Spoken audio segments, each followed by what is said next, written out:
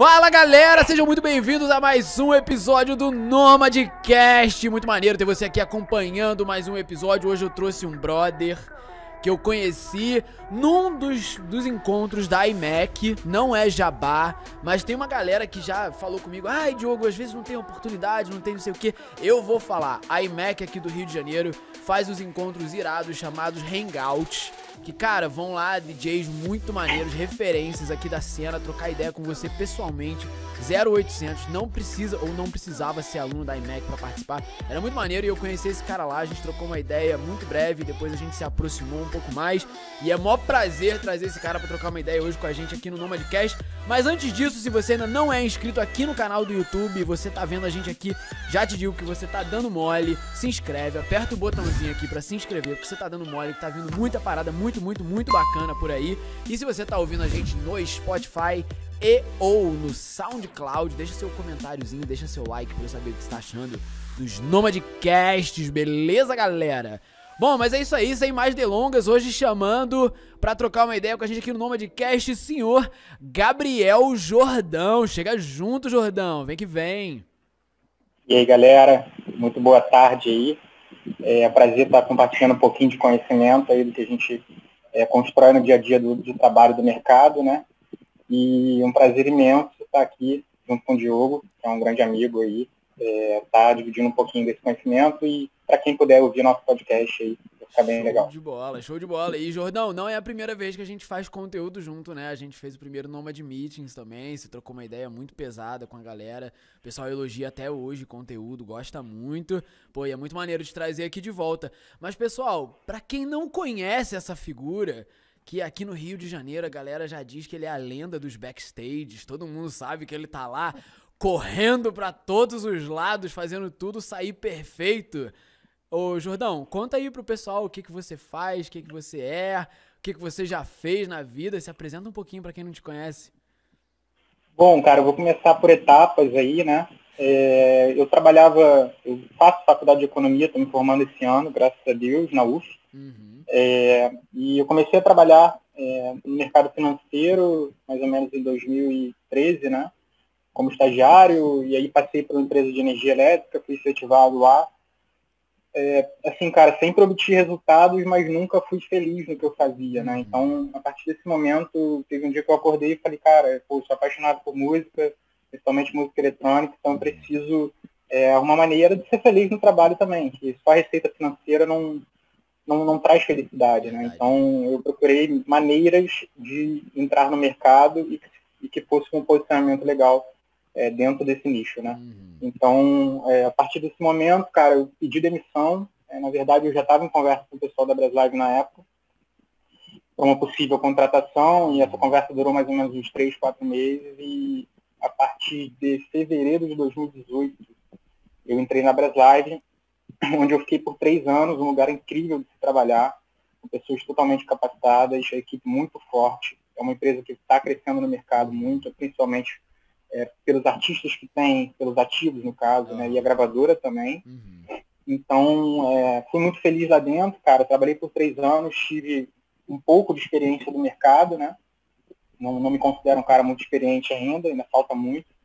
E hoje eu trabalho na Plus Network, que é uma agência que já foi uma das maiores do mundo uhum. no segmento, é, tem pessoas extremamente qualificadas, escritórios sediados em São Paulo, e espero poder desenvolver um bom trabalho aí na agência, se Deus quiser vai, tá, vai dar tudo certo. Irado, cara, irado demais. Parabéns, inclusive, aí por essa nova fase na tua jornada, cara. Pô, muito maneiro, né? Muito maneiro mesmo. Muito obrigado, irmão. É, brother, você já trabalhou em produção de evento também, né? Já, já teve essa, essa engajada. Você, pô, eu lembro aí de você conversar comigo sobre o Planeta Atlântida, com a galera do The Groove. Como é que. Uhum. Cara, como é que é? Primeiro, como é que é a sensação de você estar tá num lugar assim, de tipo.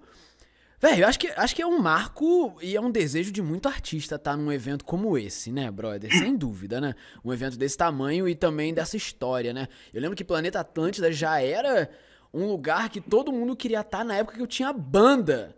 Quando eu era novinho, adolescente, tipo, sei lá, meus 14, 15 anos, mano. Eu não vou entregar a minha idade agora, não, mas assim, pô, é um bagulho de, de já há bastante tempo. Como é que foi essa sensação assim com The Groove? Como é que foi o trabalho? Fala um pouquinho aí pra gente disso. Cara, eu comecei a trabalhar com o The Groove é, assim que eu entrei na Braslive, um mês depois a gente assinou um contrato de management, né, uhum. no março de 2018, se não me engano. E, cara, precisamos fazer muita coisa no projeto para ele se estruturar da melhor forma dentro do mercado. Ele ainda uhum. tinha muitos problemas na época, e esses problemas rapidamente foram resolvidos com algumas é, estratégias. Uhum. E logo em fevereiro de 2019, um ano depois, a gente já estava fazendo o primeiro festival juntos. Uhum. Na verdade, eu já tinha acompanhado eles no Ultra, é, que foi em 2016, se não me engano. Eu tava lá. E, mas não tinha sido um trabalho de. Tava lá? Tava, tava lá no públicozão, um amarradaço. não tinha sido um trabalho de estruturação é, perante o festival. Uhum. E, cara, esse nível de, de, de, produção de festival é algo que, que é, tem que ser tratado com muito carinho, sacou? Uhum. Que ele envolve é, diversas situações que, se você pensar estrategicamente, você pode explorar muitas coisas e acrescentar muito para o artista. Por exemplo, eu acho que a gente ganhou, se eu não me engano, 500 a 800 fãs Pô, só com campanhas de marketing. Só em Porto Alegre e região, sacou? Então, uhum é, assim, para o nível do projeto, a gente pode pensar assim que é muito, sacou? Uhum. É, na época, é, se você pensar para um projeto bem maior, pode não ser muito, assim, tipo, não sei, um Chemical Surf ou um The Dogs, um projetos maiores, isso pode não ser muito. Cara, eu acho que para todo mundo 500 fãs é bastante coisa, velho. Que isso? Bastante coisa. Eu considero Porra, muito, sacou? Claro. É, mas eu tô falando em diversas situações. É. Sim, sim. Com certeza. Qualquer ganho é, é positivo. Sem dúvida. E cara, a partir do momento que a gente teve essa data na mão, é, eu já estava pensando visão macro é, a todo momento. Uhum. A partir do, de dezembro, já o festival era dia 1 de fevereiro, é, há dois anos, foi há dois anos atrás, é exatamente uhum. dois anos atrás. Uhum. E aí, cara, em dezembro, a gente já tinha despachado o contrato, assinado tudo, é, acordado toda a negociação. E em final de dezembro, ali para janeiro, eu já comecei a trabalhar nesse, nesse festival. Legal. É, o que, que eu fiz, cara? Eu comecei, eu peguei a, a, equipe de marketing e, e, a gente definiu junto que a gente precisava absorver fãs. Uhum. O que, que a gente pode fazer é, nesse segmento para a gente absorver fãs nesse curto espaço de tempo, uhum. é, com ganhos tanto para o fã quanto para o artista. Uhum. Então a gente precisa fazer campanhas de patrocinado para a área, a gente precisa fazer é, promoção para o evento, é, enfim, rolou vídeo dos meninos é, convidando é, o público para ir no evento, Uhum. Então, são várias, são várias estratégias, cara, que no final deram um resultado muito positivo. Legal. Deixa, deixa, eu, só, deixa no... só, só dar uma, uma, uma decupada mais ou menos nisso aí que você falou, só para ver se eu entendi direitinho e pra galera que tá ouvindo sacar também. Quando você fala em absorção de fãs, você tá pensando, pô, beleza, o, o, o evento vai ser em Porto Alegre, né? Um mega evento lá, a uhum. gente precisa se posicionar e se fazer conhecido lá antes da gente chegar.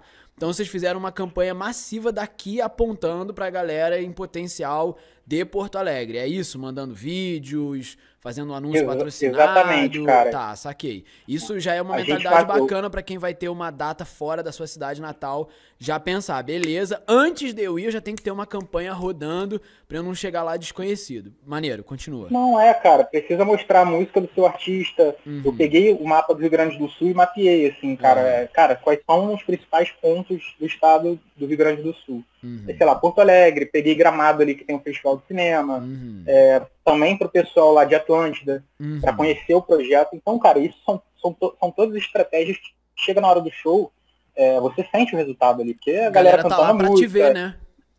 Exatamente. Uhum. Então, cara, é, a partir do momento que isso é, foi para frente, eu já comecei a pensar nisso, é, já comecei a executar junto com a equipe de marketing. Uhum. E assim, tipo, a gente fez promoção com dois ingressos, tá ligado? Ah, legal. Bem, bem legal. Assim, cada ingresso. Vocês, lá, tinham essa liber... Vocês tinham essa liberdade de fazer esse tipo de coisa?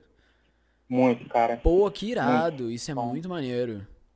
Foi muito positivo. Então, Pô, cara. é muito assim, legal. E quando a gente chegou em Porto Alegre, é, eu desembarquei com a equipe lá, junto com o uhum. Fred, com o Gui. E, cara, já tinha fã querendo tirar fotos, os meninos realmente, cara, Pô, isso traz irado. resultado, é bizarro, tá ligado? Que irado. É, a gente não tem consciência disso.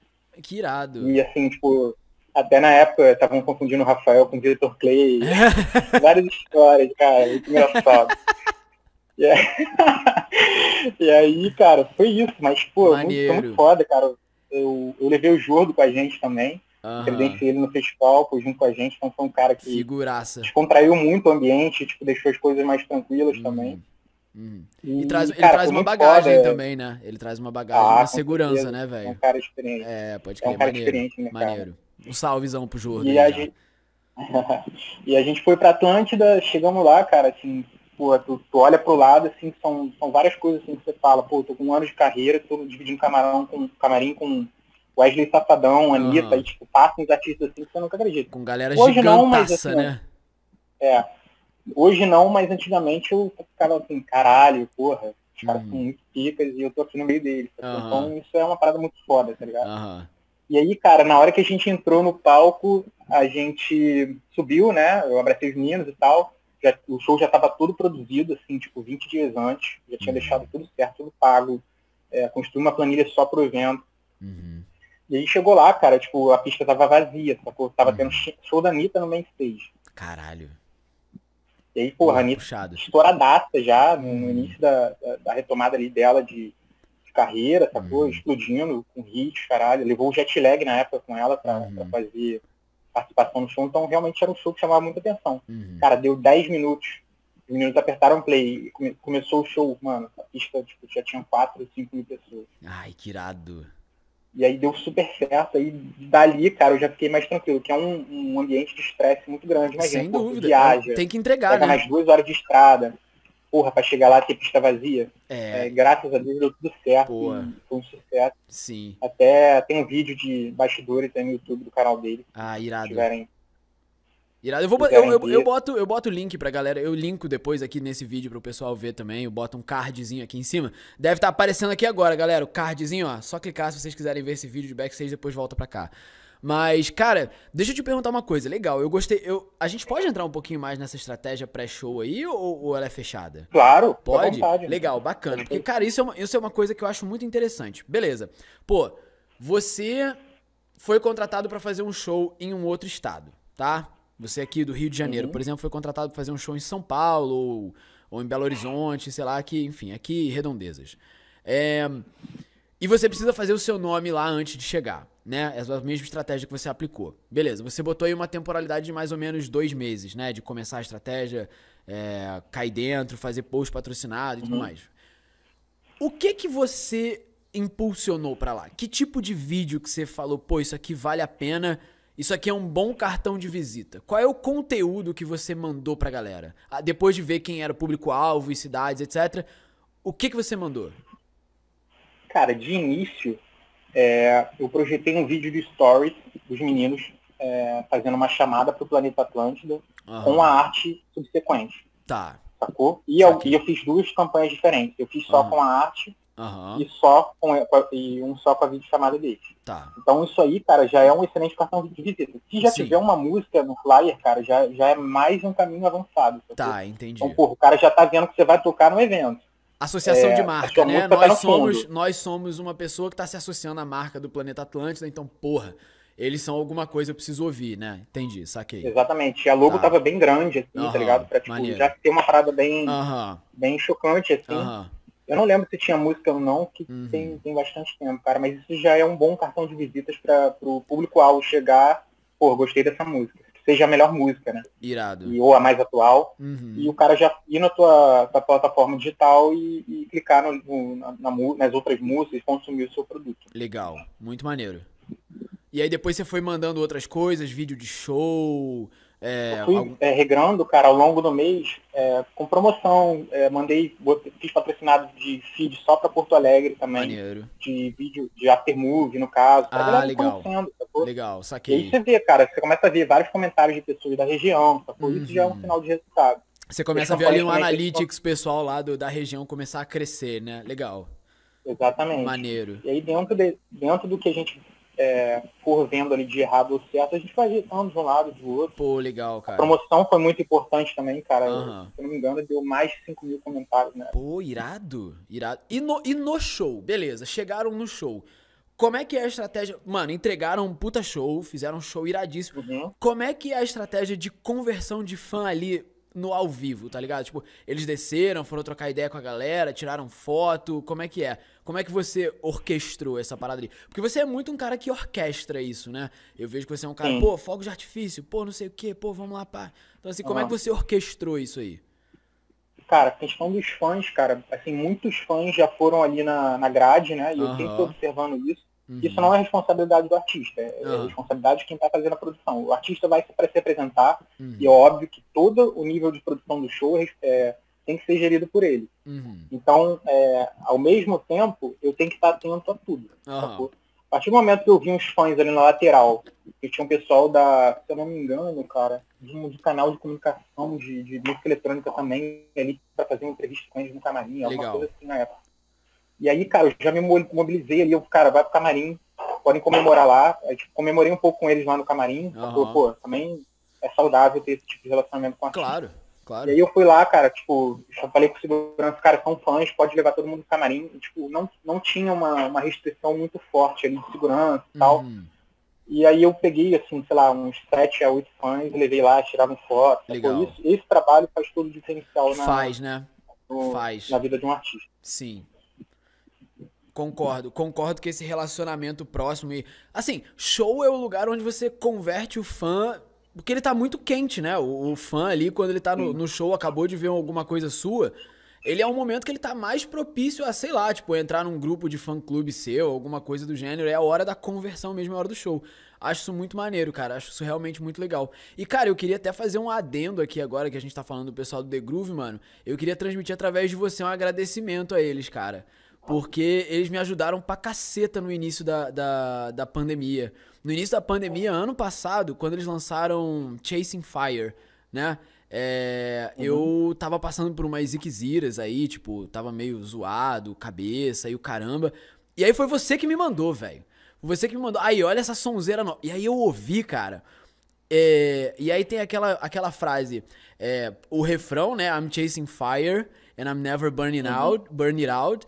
E o You Know I Can't Stop Cause I Don't Know How virou até status do meu WhatsApp, velho. E aí eu ficava ouvindo aquele mantra na minha cabeça, velho. E eu comecei a incendiar, véio. e foi aí que eu não parei mais, tá ligado? Foi, pô, então assim, tipo, os caras com aquele som ali me tiraram de uma ziquezira, assim, vida pessoal e o caramba, mas eu ouvi várias e várias e várias e várias vezes, mano. Quando eu malhava aqui em casa, eu tava ouvindo e eu falava, pô, mano, esse som é muito bom. Entrava aquele primeiro drop ali, eu já, eh, já sentia a energia voltando. Pô, os caras do The Groove me deram uma mão na roda, velho. Tô mandando um agradecimento por eles através de você mesmo. Que, mano, muito foda. Música, cara, música tem é... esse poder muito maneiro, né, mano? Muito maneiro. De... É muito gratificante. Sim. É muito gratificante poder ouvir isso, cara. Desculpa te cortar aí, porque assim, só quem trabalha no meio, trabalha com muito amor a, a coisa, sabe quanto isso, isso é importante. Uhum. E ao mesmo tempo que você ouve a Chasing Fire, você fala para mais 20, 30, 40 pessoas. É Mano, boa. eu enchi o saco de geral com essa música. Exato, isso é um. Nossa, velho, nego não aguentava mais, sacou? É tipo, tá bom, Diogo, eu já ouvi. Eu falei, mano, mas ouve de novo, é muito bom. Olha o clipe agora. Isso é um marketing orgânico que a gente não sabe o tamanho, cara, porque é de é. graça, além disso. Aham, uhum, realmente, realmente. E falar sobre lançamento, cara, você participou também sobre lançamento do EP, né, do, do uhum. Antidote e tal. E, cara, assim, pensando, não na verdade no lançamento em si, mas falando da sua carreira de manager é, é, propriamente dita. Cara, em que momento que você vê, assim, um arte... Porque eu tô vendo muita gente lançando EPs e álbuns nesse momento. Como é que você vê na carreira de um artista? Como é que você diria para um artista que você tá trabalhando? Porra, tá na hora de você lançar um EP, tá na hora de... Estrategicamente, tá na hora de você lançar algo que não é um single. Como é que você vê isso? Até porque tem muita gente me perguntando e falando, Diogo, tenho vontade de lançar um EP e tudo mais. E na minha consideração do marketing, eu falo para eles, cara, olha eu não sei se é momento de você lançar, mas eu tenho a minha percepção. Como é que você percebe isso? Que é o momento de lançar ou não é o momento de lançar? Bom, cara, acho que todo artista ele deve começar, assim, falando por mim, tá? tá. É, isso é uma opinião minha. Eu acho que todo artista ele deve começar fazendo singles, até para ele se conhecer. Uhum. E isso funcionou muito na estratégia Antidote, né? Uhum. Quando eu tive a oportunidade de trabalhar aí um ano e meio com ele. Uhum. É, e é um artista que ele tem muito, muito conhecimento musical, uhum. é, muito conhecimento de curadoria musical. É impressionante. Tipo, eu vou falar um pouco da carreira dele. Assim, a partir do momento que a gente começou a fazer o projeto do A Little Part of and Drive, era um artista que não, assim, tinha conhecimento musical, é, mas não era um artista ápice ainda. Eu falei, cara, você precisa ser um artista ápice em curadoria. Uhum. Sacou? Então isso é muito importante. O que aconteceu? Ele passou a pesquisar muito mais. Legal. Ele passou a se aprofundar. E eu fui instigando o cara. Falei, cara, uhum. pesquisa mais. Cara, chegou, tava até falando com isso no mês passado, chegou um ponto que o cara tá muito maior que eu, assim, de pesquisa musical. Uhum. Tipo, não tem como acompanhar. Ele tá uhum. tá tão bizarro, tipo, que, mano, já não consigo acompanhar. Uhum. Óbvio que eu faço o trabalho de, de base, ele passa umas músicas pra ele, cara, ouve isso aqui, ouve isso aqui, ouve isso aqui. Uhum. E ele vai se conhecendo, sacou? Uhum. E a partir disso, isso foi influenciando nas produções musicais dele. Uhum. A partir do momento que isso influencia nas produções musicais dele, ele começa a produzir em larga escala, ele começa a ter mais bagagem de música para poder começar a pensar nisso. Ah, Mas saquei. a importância do single é muito importante. Uhum. E o que aconteceu? O EP do Antidote, ele aconteceu, cara, na época, ele tinha mais ou menos umas quatro músicas. Uhum. É, tem até um, um, outro, tem um vídeo de bastidores também da criação do EP, não sei se uhum. chegou a acompanhar. Pode vou, botar, vou, vou linkar aqui também. também, mas esse eu não vi não, mas eu vou linkar aqui também. Galerinha, tá aqui nesse card aqui no alto agora que é muito legal, cara. E assim, ele tinha mais ou menos quatro músicas assim que eram no mesmo tom. E aí ele falou, Jordão, acho que eu quero fazer um. Falou pro Fred, se não me engano, ah, Jordão, Jordão e Fred, eu quero fazer um EP. E pensei no. Eu acho que não, não lembro quem foi, cara, que pensou no nome Mirrors. Uhum. Mas na, ao mesmo tempo ele já idealizou o EP todo, cara, e assim, fez três músicas. É, que eram a Mirrors, uhum. a Reflect, Reflections e a. Reflections e Lotus, uhum. que era a quarta música. Uhum. E aí, cara, assim, faltando dois, se não me engano, duas, três semanas pro EP, ele falou, não vou fazer uma intro pra parada, ouve aí. Irado. Cara, uma parada assim, muito foda. Quem puder ouvir, cara. Irado. É muito, muito legal o EP que ele construiu. Assim, isso tudo idealizado pelo artista e, e soube usar a equipe para construir isso. Uhum. Então, cara, eu acho que, voltando um pouco para a pergunta que você fez, eu acho muito importante o artista primeiro se conhecer musicalmente do que é, só lançar um EP, ele precisa contar uma história, sacou? Uhum. Então é muito importante nessa questão. Eu acho que o foco principal é conhecimento musical, é se conhecer, construir uma bagagem para depois partir para um álbum maior. Legal. Porque é muito bacana, assim, tipo, eu, eu acho muito legal essa, essa vontade das pessoas lançarem EPs e álbuns mesmo. Só que, assim, o, o, mercado da música ele mudou muito nos últimos anos, né? Eu sei que é super clichê muito. falar essa frase, mas assim, tipo, e continua mudando em uma velocidade muito grande, né? É, lançamento uhum. de single agora é praticamente lançamento de conteúdo. Então, assim. É, e antigamente, né, a gente via os artistas quando eles queriam marcar a sua entrada no mercado da música, eles vinham com um álbum. É o álbum de estreia do artista fulaninho de tal. Sendo que hoje em dia eu vejo que o EP ou o álbum propriamente dito, ele vem meio que como uma, uma quase que coroar um momento da carreira. Do tipo, cara, lancei uhum. singles, foram ouvidos pra caramba, a galera curtiu a beça, já tem uma base de fãs, agora eu vou lançar um álbum que, enfim, marca um momento da minha carreira, né? Foi muito mais uhum. ou menos como eu senti o, o lançamento do do Falling, do Flake. Que, assim. Pô, muito foda esse pô, álbum. mano, álbumzaço, velho. Falei com ele outro dia, entrevistei ele. Mano, álbumzeira, assim, porra, muito bom. É... E agora a gente trabalha junto aí. E que irado, é? Ah, a gente tá Caraca! Tá trabalhando junto. Porra, ferrou. o mercado que se prepare. eu tava no. Eu tava no Réveillon da Rio Mi uhum. e ele não sabia ainda é, que eu ia que eu tava indo pra Cruz e tal, mas eu nem cheguei a comentar nada com ele, mas na época, tipo, a gente trocou ideia no camarim, super legal. O moleque é sempre bom pra caralho, eu adoro Muito. ele o, empresário dele, o Gui Ulisses também, é, que até deu. Outro figuraça, gente boa demais, mano. Pô, muito gente boa, velho. Muito gente boa. Mas, mas eu senti que o álbum dele, ele veio assim, tipo, não necessariamente para coroar um momento, mas eu senti muito ali na fala dele que o álbum veio para retratar um momento que ele tava vivendo ali, que foi um momento meio de pandemia, que ele lançou agora e tal, que ele se sentiu mal e, e depois voltou. Ele fez essa, essa história da jornada do herói ali nas músicas dele, né? Uhum. Então eu acho que vai muito de acordo com o que você fala, de depois que ele se conheceu musicalmente, lançando singles e se entendendo, ele quis contar uma história dele. Eu acho que fez muito sentido dentro desse seu discurso falar isso também, né? Então já fica acho que aí de dica para quem quiser lançar e fazer um lançamento, assim, tipo, óbvio, não vamos falar aí de estratégia de marketing, é, como é que entrou esse lance de estratégia de marketing e tal, mas ter essa noção de que é necessário contar uma história dentro de um álbum, né? Não pode ser só um compilado de música, né? Tipo, ah, junta umas músicas aí e lança. Não é assim que Sim. funciona, né? cara, é, o álbum do Flick é tão, faz tão sentido nisso que se você parar pra ouvir da primeira ou última música, é uma história sendo contada.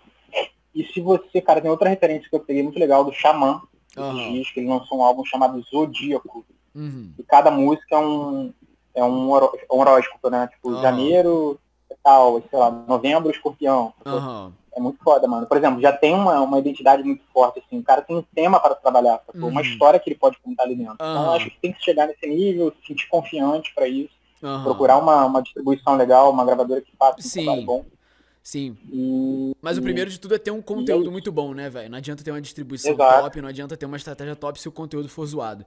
É uma coisa que eu vivo batendo com a galera, né? E vivo batendo nessa tecla que, cara, nenhum marketing salva se seu conteúdo não for bom, velho. Marketing não Exato. faz milagre, mano. A gente ajuda marketing muito. Também não faz milagre. o marketing não faz milagre também se não tiver música boa. Exatamente, é o que eu chamo de o conteúdo bom, né? Se, se, se, se o, o core da coisa, se a música for boa, velho, o marketing vai fazer chegar. Mas se, se a música não for boa, se o conteúdo não for bom, o marketing não faz milagre, cara. Ele pode dar uma ajudada aqui e ali, mas, mas achar que você vai entregar na mão de marqueteiro e vai ter milagre ali, haha, não vai, velho. Não vai, não vai. A música tem que ser boa. E aí o marketing agradece. Fala, ai, que bom, como é bom distribuir coisa boa. E aí vai lá, né? Cara, vou falar em coisa boa também. Durante a pandemia, você estava fazendo um projeto, né? Você estava à frente de um projeto chamado Chasing, é, Chasing Views, né? Isso. Cara, como é que foi essa vibe aí do, do Chasing Views? Porque eu vi que muita gente tava... Essa pandemia foi foda, né, velho? Foi, eu tô falando como se já tivesse uhum. acabado. Mas essa pandemia está foda, né? Graça, está acabando, se Deus quiser. E muita gente ficou Deixa nessa vibe aí de tipo, mano, que conteúdo que eu produzo já que eu não tenho show. E aí você foi para esse esse Chasing Views, né? Conta, conta um pouco o que que é esse Chasing Views, como é que rolou isso, como é que vocês pensaram nessa produção de conteúdo. Fala um pouquinho da história dele. Cara, na verdade o Chasing Views ele já existia, ah, foi uma ah, criação tá. 100% do artista, né? Tá. É um projeto que procurava unir é, ambientes que sejam é, bonitos, assim, tipo, naturais uhum. e, e, que chamem a atenção. É, música boa, na linha Progressive House, uhum. e que seja um produto pro artista que, cara, mostrasse pro mercado, assim, que é um produto muito foda. Tá, legal. Então o que acontece? Os dois, as duas primeiras edições ele produziu praticamente sozinho? Uhum. Isso não é uma parada ruim, cara. Isso faz parte na carreira de todos os artistas. Uhum. É, isso é uma parada muito boa, sacou? Porque passa a, a, gerir um sentimento maior do artista com o projeto. Uhum. O que aconteceu? O Pedro. E passa seriedade trabalhava... também, né, velho? Tipo, um Exato. artista que faz isso sozinho, ele não tá de brincadeira, ele tá ali para jogar sério. Então, pô, é uma mensagem Exato. importante. Com certeza. Mas continua. E na época o Pedro é, trabalhava com a gente. Uhum. Ele foi pra controvérsia, uhum. foi pra trabalhar na, na label do Alok. Uhum. E na época ele tava de daily manager do, do Reezer. Uhum. E na época ele saiu, assim, logo quando começou a pandemia, surgiu a oportunidade de trabalhar na gravadora e ele foi. Uhum. E aí, cara, acabou assim, calhando, deu na época pegar mais dois projetos, que foi o Joy Corporation e o Reezer, né? Uhum. Eu já estava com o The Groove e com o Antidote na época. E aí, assim, mais por uma necessidade da empresa a curto prazo ali, eu falei, cara, topo, vambora, não tem muito o que fazer. E aí, cara, ele trouxe esse projeto para mim. É, ele fez as duas primeiras edições e ele falou, Jordão, a gente assim, algumas pessoas conversaram comigo, eu preciso profissionalizar o projeto. Uhum. E, cara, preciso da tua ajuda nisso, principalmente. E a primeira edição que a gente fez, cara, foi o. Foi lá em Petrópolis. Uhum. No, num lugar, cara, muito foda. E é o Nas Nuvens. Uhum. Que era uma pista de Asa Delta. Irado. Inclusive, todos esses conteúdos estão na página dele, no irado. YouTube. Irado, irado. E na época, cara, eu pensei assim, cara, pra gente profissionalizar a coisa, a gente precisa de pessoas.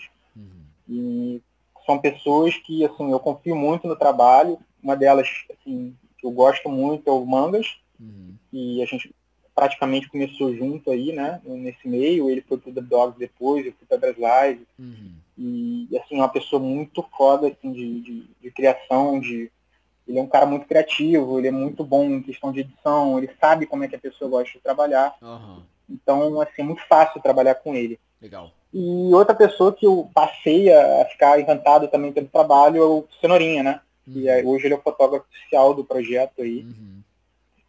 E é um moleque que tem um olhar clínico absurdo, ele sabe o que faz, ele, tem, ele é muito novo e, a produtividade dele é, é bizarra, tá ligado? Uhum. Tipo, a gente contratava ele para ser fotógrafo. Quando eu olhei pro lado, ele tava me ajudando a esconder os cabos na Irado. mesa atrás, sacou? Então, cara, é isso que eu espero de uma pessoa que esteja trabalhando é, em prol de, de, um projeto. Isso é muito a maneiro, né, cara? A pessoa entregar mais do que ela tá sendo contratada, né, velho? Isso é, mano, isso é demais Exato. da conta. Isso é demais da conta. Isso é muito legal. Quando uma pessoa faz isso e você vê que ela faz isso porque ela é assim, você fala, putz, quero trabalhar com você pro resto da minha vida, mano.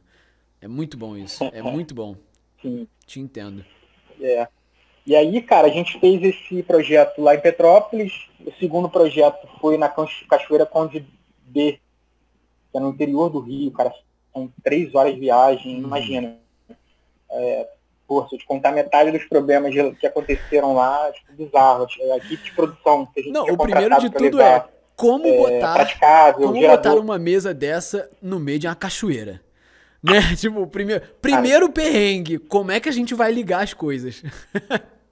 é, como assim, a gente não tinha muita é, opção de transporte, eu tive uhum. que contratar uma equipe para levar, a equipe atrasou, enfim. Caraca. Isso aí é coisa, coisas à parte. Uhum. Mas, é, e aí, cara, foi tudo meio na correria, porra, liga o gerador, CDJ começou a dar problema, levei um técnico aqui do Rio, o cara, tipo, não tava conseguindo resolver, imagina, tipo, aí Nossa. o sol tá se pondo. Imagina, ia tá perder atrasado, a viagem, né? mano. né? Ia perder a viagem. E aí, é, e aí você não pode gritar com a equipe, mano. Você tem que, porra, manter a calma, sacou? Senão você vai estressar o artista. Uhum. O artista já tava estressado, e com razão, tá ligado? E, pô, isso é responsabilidade do manager. Se a merda tá acontecendo, é, é contigo, né? Pode crer. Exatamente. Caceta. Mas isso faz questão do, faz parte do aprendizado, cara. É, e, meu é amigo. É importante errar também. Ger gerenciamento de estresse. Sim. às vezes nem culpa, né? a culpa nem é sua, mas assim, é... a responsabilidade é sua. Mas, mano, não tem jeito, né? Al alguém Caralho. sempre é tirado pro culpado, velho. E, e, geralmente é, é o cara que tá orquestrando a parada toda, é você que segura tudo no, nas costas. É fogo. Exatamente. É fogo. E na quinta edição, cara, a gente fez é, num barco, num veleiro. Maneiro. Não saiu ainda. Opa, é, informação privilegiada. Não, provavelmente já vai ter saído quando, gente, quando sair esse podcast, mas, é, cara, diversos problemas aconteceram. Pra ter noção, a gravação ia começar 4 horas, a gente chegou lá 10 horas da manhã. Aham, uhum. caralho. E aí começou a montagem, tudo, montou, começamos a gravar o set, o dia incrível, primeiro dia de gravação. Aham. Uhum. Drone do Mangas, faltando 5 minutos para acabar a gravação, caiu no mar. Ah, mentira, velho. Não, cara. Que Moleque, eu não acreditei na hora, assim. Nossa, assim, mano. Já, e, o, e o foda é que o drone deu... ele vai caindo devagarzinho, assim, né? Tipo. Não, o que aconteceu, ah, cara, que o drone ele assim, deu o autoland. Ah, ele tá. Era perto e do voltou, aeroporto, tá ligado? voltou pro primeiro ponto de, de, de conexão com o rádio. Putz, é, na verdade ele foi pra frente, no que ele foi pra frente, ele bateu na vela do barco, caiu no chão, bateu na perna do, do auxiliar de câmera, e caiu no mar. E aí, cara, você não fica sem reação, tá ligado? Porque é muito rápido, cara. Não tem como pensar em nada. Que E aí, na hora, a galera queria pular para pegar. Eu falei, cara, viagem, você não sabe o nível da correnteza que tem aqui pra baixo. Não faz é, isso, não, podia ser, podia, é, podia ser, podia dar merda federal aí. Tá louco. Ainda mais na Baía de Guanabara. não né? se brinca, velho. Ah, era na Baía. Pô, com mar não se brinca real, cara. Não se brinca mesmo. Sim. Tá louco. Imagina, vai, vou pular ali no meio da Baía de Guanabara e de repente você vê o barco tá lá longe. E aí, meu amigo? Vai fazer o quê? A deriva com um drone na mão. Tá louco. Sim. Caraca, e aí, velho. cara, continuando, a gente, assim, a gente foi, se reuniu ali rapidinho dentro do barco, eu, o Rick e a equipe, né? Eu falei, cara, vamos gravar isso de madrugada. Uhum. Vocês vão dormir aqui no barco. É, vão pedir comida para vocês, bebida, o que vocês precisarem aqui, durmam aqui, eu vou para casa, volto e, e a gente começa a gravar. E aí, cara, eu, fui, eu vim em casa, não consegui dormir, porque eu fico muito ansioso. Uhum. Tomei uma ducha, três e meia da manhã já tava saindo de novo. aí começamos a montagem, tudo de novo. Todo mundo com sono, eu falei, ah, moçada, tá vamos acordar, de tão fazer. calminho aqui agora, mas isso aí engana. Imagina o cara estressadaço, três horas da manhã. Cara, eu não vou não, dormir, eu não... preciso voltar pra lá. Ah, é. Eu já fiquei muito estressado, cara, mas hoje eu, eu assim, principalmente por, por educação é, corporativa que eu tive com o Fred e com o Gui, eu aprendi a ter mais ah. controle emocional. Ah. Então, não, mas eu tô falando, eu tô falando interno mesmo, assim, né, velho? Porque, pô. Ah, sim, rola. Você é louco. Você é do caralho, mano. Cê é Todo louco. mundo quer ir pra casa, né, mano? Todo mundo quer ficar tranquilo, sacou? Uhum. E aí, cara, graças a Deus, com o suporte da equipe, a gente começou a montar tudo. E aí, cara, deu 6 horas da manhã, o sol começou a, a, a nascer e começou a chover. Que merda. Caralho. Exato. E o Mangas contratou outro cara pra fazer o drone que o cara precisava ir embora, tá ligado? Porque ele tinha outro compromisso. Cara, é só problema, só problema. Só que, cara, graças a Deus deu tudo certo, o conteúdo tá muito maneiro. Caraca, é, mano. Provavelmente já vai estar disponível aí. Vai ter, vai ter backstage dessas histórias aí? Vai. Caraca, entrevista e tudo. Nossa, muito mano, você é louco, cara. Você é louco. E, e o, o, drone do Mangas foi recuperado ou ele virou Nada. presente pra Baía de Guanabara? No profundo do mar. Puta Inclusive, ele acabou de comprar um aí agora. Caralho, que merda, cara. Mas é foda, Porra, cara. que tristeza. Tá doendo ele. em mim isso aqui, cara. Caraca, mano. Pô, dói em todo mundo, cara. Ah, tô ligado. Mas é, mas é, coisa que. Não, é coisa que você não tem como prever de jeito nenhum, né, cara? É o tipo de coisa que. Nenhum. Putz. Caraca, que bad, mano. Que bad, brother. Enfim, porra, tô, tô ansioso para ver quando isso aí for lançado. Quero ver isso. E a entrevista, inclusive, mano. Mas, mas cara, vamos, vamos falar um pouquinho mais agora sobre essa sua visão de manager, assim. Eu, eu conversei. A... Não foi a última, não. Foi a outra que eu fiz uma entrevista com o Renan Piva, que é o tour manager do Felguk.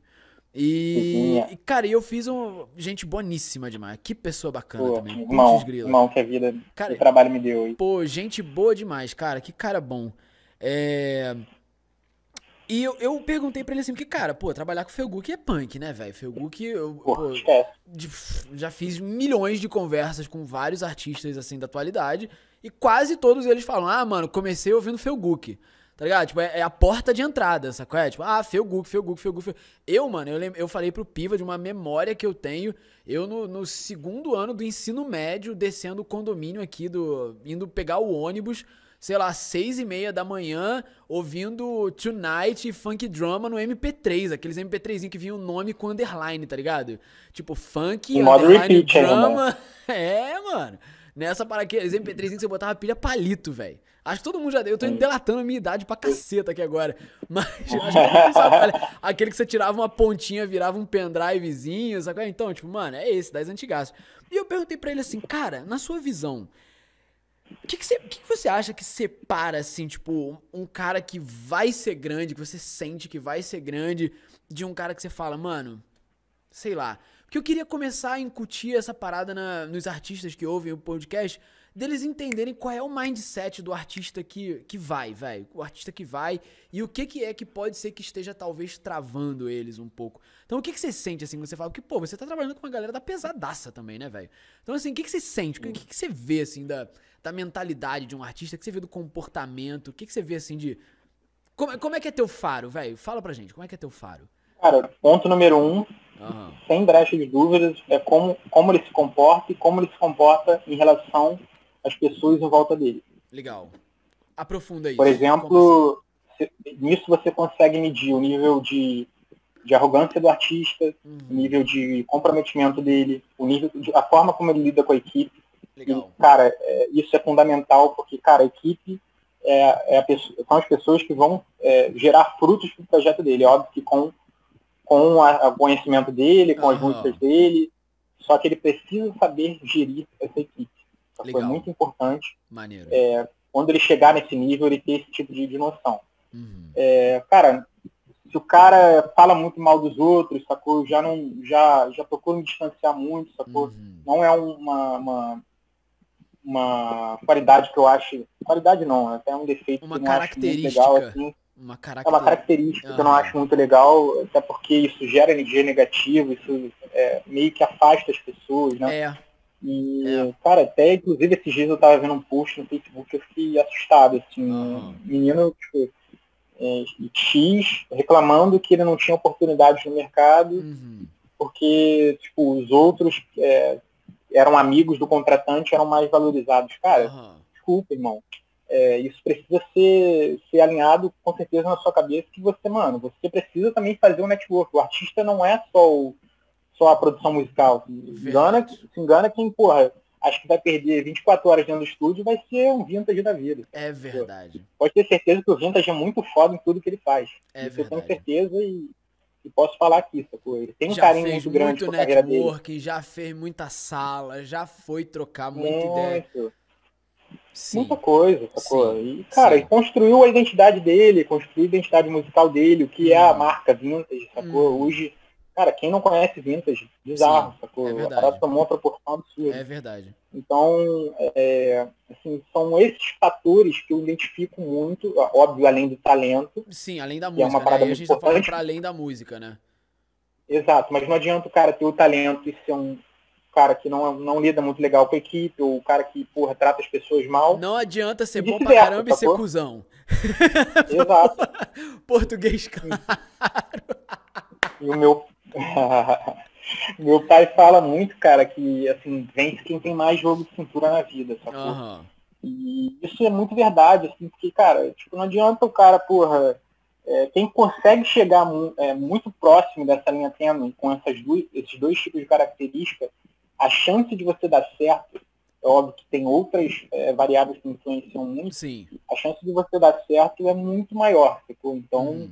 é, você pode sentir uma maior confiança Uhum. e, e poder progredir na carreira. Além de, de estudar muito o mercado, cara, que eu vejo um grande problema também no mercado que, tipo, a grande maioria dos artistas não estudam, cara. Uhum. Não conhecem, não leem um contrato de gravadora, assim, só assinam, não se interessam, porra, em negociar os splits da música dele, Aham. sacou? Não se interessam por nada. Ah, pô, vai lançar pra essa gravadora e eu vou ter um resultado. Não Falta, ele, falta a mentalidade do empresário ali, né? Do empreendedor, né, velho? Exatamente. Porque, mano, artista é artista em cima do palco, em frente às câmeras, cara. É essa mentalidade que você falou que eu Exatamente. concordo muito, brother. Ele precisa ter a vibe do gestor.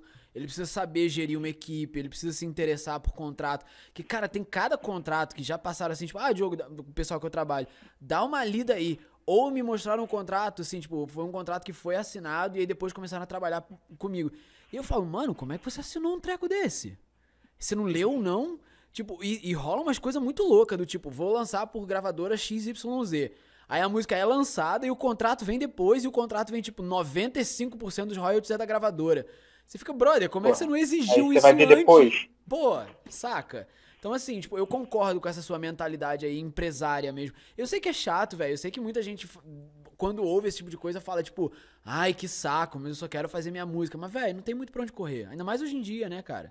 Não tem muito pra onde correr. É isso, cara. É, Você tá no game é pra aceitar o game completo, né? Não é pra, tipo, ah, eu só quero, só quero os- as coisas boas. Mano, tem que vir com, com o perrengue também.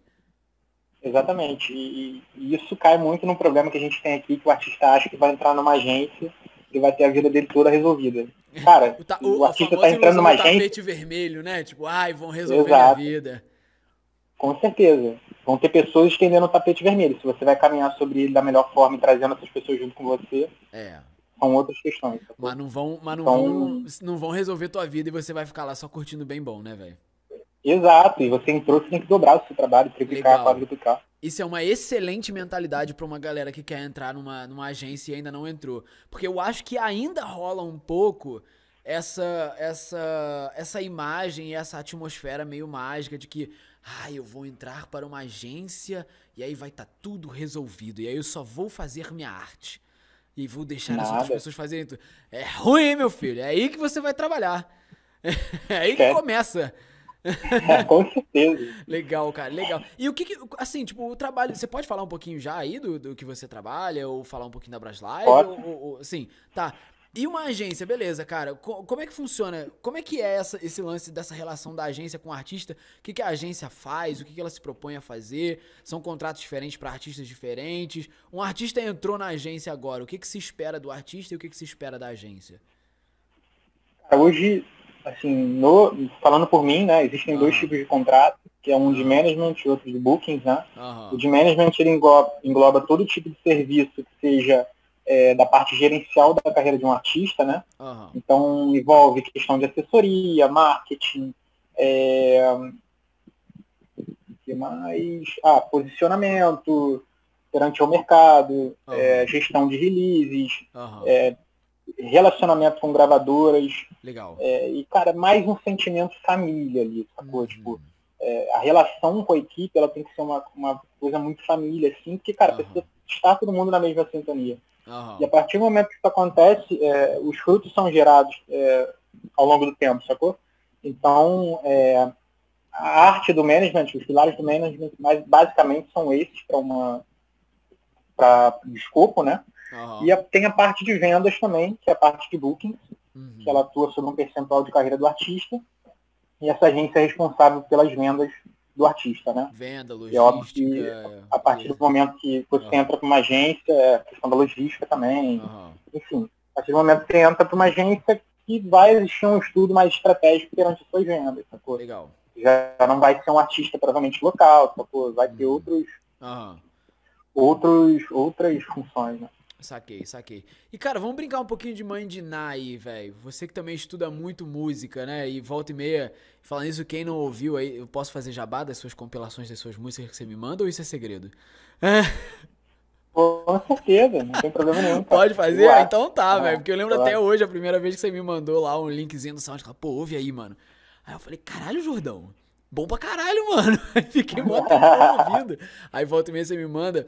Você que estuda muito música também, cara, e eu acho isso muito legal você botar essa mentalidade nos artistas com quem você trabalha de galera, vai estudar música, vai estudar tendência, vai estudar o que, que tá acontecendo, vai estudar o que a galera tá fazendo, estuda novidade a gente tá num momento em que, tipo, não tem nenhuma grande moda agora no mercado brasileiro, né? Não tem nenhuma hiper tendência que tá todo mundo fazendo. Existem algumas coisas que estão mais em evidência, outras menos, etc. Ok, mas não tem, sei lá, que nem antes, logo antes da pandemia, tipo, tinha uma grande moda. Tipo, ah, velho, tá todo mundo produzindo tal gênero, né?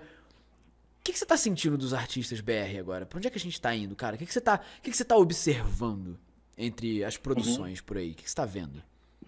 Cara, eu tenho, assim, vendo de, de dentro um pouco é, da coisa, eu vejo três é, bandeiras sendo levantadas aí muito fortes. Uma que é a mainstream, né? Que é uhum. o pessoal do Slap House ali, do Brasil. Uhum. Não um Brazilian uhum. Bass que já está meio ultrapassado, mas é, eu não, House, eu não vejo mais, mais tanto isso assim, tipo, do Brazilian Bass, não. Desculpa, te cortei, foi mal. Foi, foi um pensamento alto. Vai lá, Sim. perdão. Não, de boa, é. relaxa. Feião Então, isso. eu vejo essa cena ainda muito forte, até porque é uma cena muito importante. Cara, eu vejo pessoas, assim, às vezes, falando ah, o Alok é ruim. Não, cara, o Alok é muito importante pra cena, cara. O Alok, cara, um, o primeiro um contato das pessoas. É, é, é. Um parênteses. Você viu a entrevista do Alok? No... pessoas, como se com a música eletrônica é do Alok, com certeza, cara. Ele tá achando a bandeira do mainstream no, Porra, mundo, total, total, total, total, cara, mano. Ficou revoltado às vezes, cara. Temos que bater muita palma pra Alok e pra Vintage com a Pô, quantidade é foda, de porta que eles estão abertos. Eles estão abrindo pra gente, velho. Eles estão abrindo portas Sim. assim e desbravando o campo pra galera do Brasil que a gente devia estar tá, tipo, mano. Obrigado, vocês são foda. Valeu mesmo. Sim. Os dois, velho. Alok, Vintage pra caceta, cara. Você viu a entrevista do, do, Alok no Flow? Só um parênteses. Eu vi a do Vintage só. Do a do Vintage foi maravilhosa. A do Alok você não viu ainda, não? Véi, veja. Vou ver. Meu irmão, veja. Caraca, mano, que pessoa, brother. Que pessoa, mano. É, foi um cara que veio do nicho underground, tipo, é, surgiu no nicho mainstream e, cara, tá fazendo um trabalho foda essa coisa. Do caralho. Tipo, as pessoas têm que entender é como se fosse um jogo, sacou? O jogo, é, o mapa tá tudo preto. Aham. Então, o, o, mapa atual é uma bolinha branca, uma bolinha branca. Uhum. A partir do momento que é, o cara for disseminando a música dele, mais pessoas vão conhecendo, esse mapa vai abrindo. Exatamente, mais pessoas vão conhecendo. Mano. E a partir do momento que essas Perfeito. pessoas conhecem música eletrônica e gostam, elas se nicham mais. Sacou? Perfeito, e... Jordão. Porra, é isso, velho. É isso. Eu comecei com David Guetta, velho. Ouvindo David Guetta e aí, aí agora eu vou entrando numas, numas coisas mais profundas aí. Inclusive, pô, vou até te dar essa recomendação depois. Ouvi um cara chamado Shingo Nakamura, velho, que é um japonês. Bom. Que porra bom pra caceta, cara. Que maluco bom, cara. Nossa, depois eu vou te mandar o link. Manda. Muito bom, muito bom. Mas beleza. É, então você vê essa galera do mainstream e, mais o que, que você vê?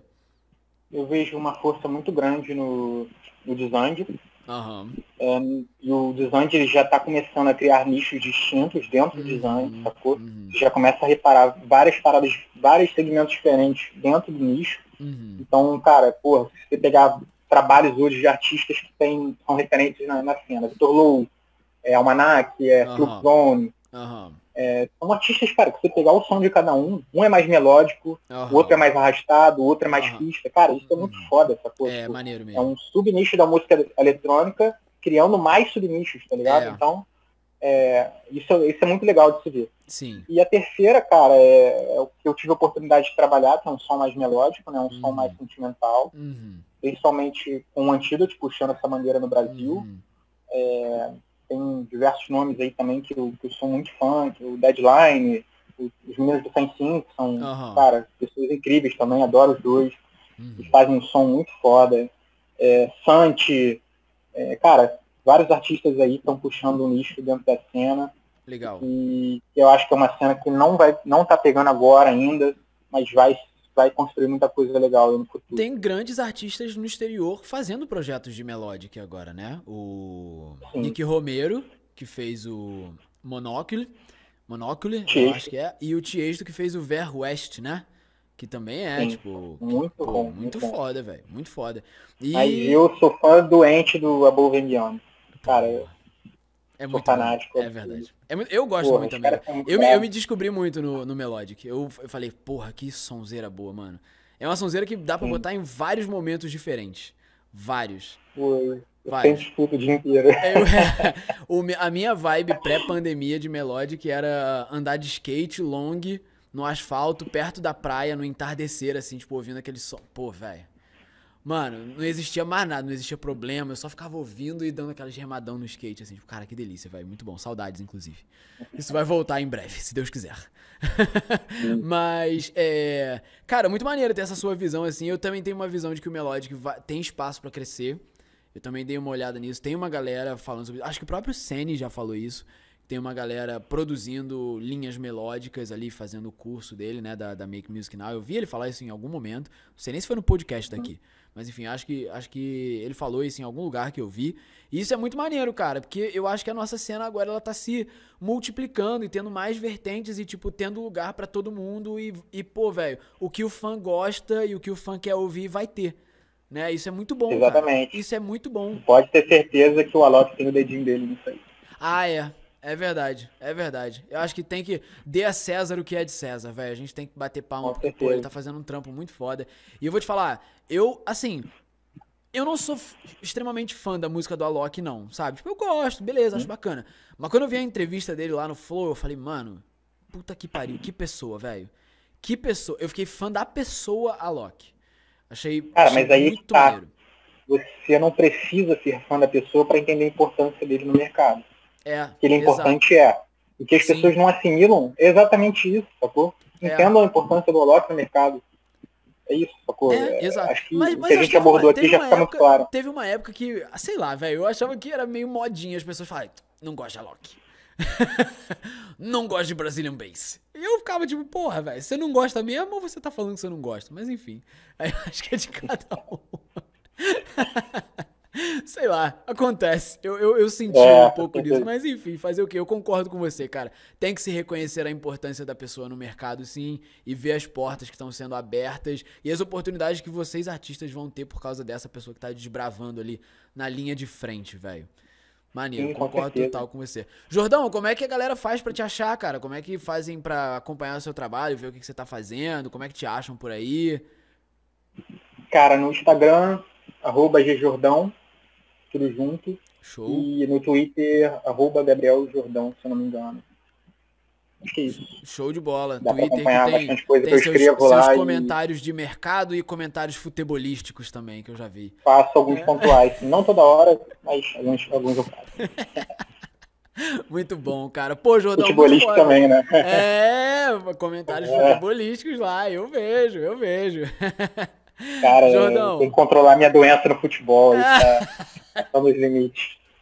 Já tô tendo problema aqui em casa, tô tendo que dividir o tempo assim, futebol com o Netflix, tá complicado. Aqui em casa não tem esse problema, cara. Eu não acompanho futebol. É. Geralmente eu acompanho futebol só pra zoar meu pai, na real. Porque ele é flamenguista roxo. Aí eu assisto e aí eu vejo o Flamengo tá ganhando nada, não tá lá com, com o Jesus. E eu falo, ih, pai, só Jesus salva, velho. Seu time aí tem esperança, mas não. Aí ele fica putaço comigo, é muito engraçado. mas irado, Jordão, muito maneiro de trazer aqui no podcast, cara. Pô, valeu demais por ter trocado essa ideia aqui, por ter dado vários insights maneiros e contar essas histórias aí de bastidores, velho. Espero te trazer outras vezes pra cá também pra gente continuar a trocar ideia sobre agora essa sua nova jornada e as suas novas aventuras que vão se desbravar e desdobrar aí no, ao longo dos próximos tempos. Caralho, que frase pica. Diogão, muito obrigado a você pela oportunidade de estar tá, tá vindo aqui conversar com, com você e estar tá expondo um pouquinho do que a gente aprende no, no meio de entretenimento para poder também dar oportunidade de pessoas que estão começando e eu acho isso muito importante. Eu sou muito, muito dedicado a isso também. Sempre que alguém me chama no WhatsApp, eu, cara, tento ser o máximo paciente possível, porque, cara, eu já tive na situação da pessoa, sempre me coloco uhum. na situação do outro. Uhum. Então, muito feliz em estar podendo participar junto contigo, pode ter certeza, Irado, e outras oportunidades virão. Maravilha, cara. Gratidão demais aí por você compartilhar tudo que você tem já de bagagem, brother.